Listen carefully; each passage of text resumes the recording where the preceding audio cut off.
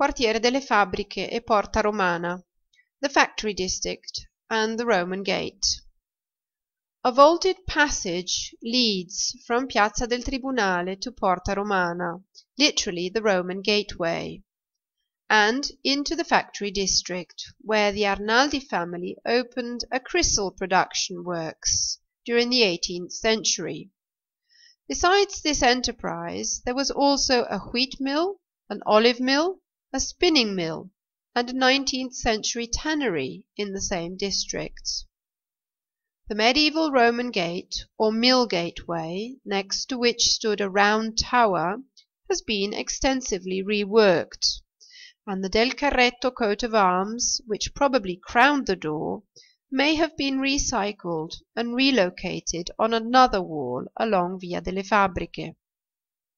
The internal posts are the only original surviving elements of the gateway.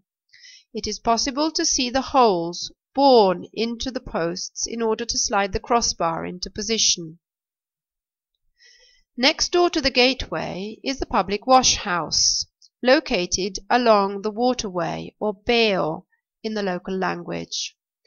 The Beo channeled the water from the river Aquila into town, thereby allowing for industrial production to carry on in this part of the Borgo. This is where the Roman road started. Coasting the foot of the Becchignolo hill to the east, this road led to the Feglino valley before going on to Orco.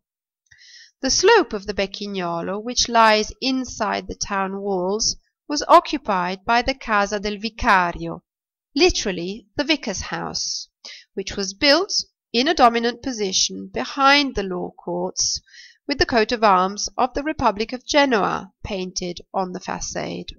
On the eastern façade, along the Aquila stream, the crenellated walls still have stone and brick gun slits in them.